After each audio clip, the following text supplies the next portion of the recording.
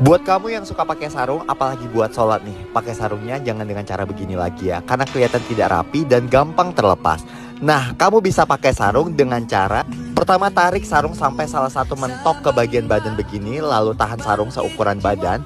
Sisanya kamu lipat ke bagian sisi sebelahnya, lalu sisanya lipat ke bagian depan. Lalu lipat seukuran tiga jari dari bagian atas, lalu gulung sekecil mungkin. Nah, dengan begini sarung yang kamu pakai akan terlihat lebih rapi dan juga lebih ketat ke badan kamu. Bisa kamu pakai nanti kalau buat sholat tarawih ya.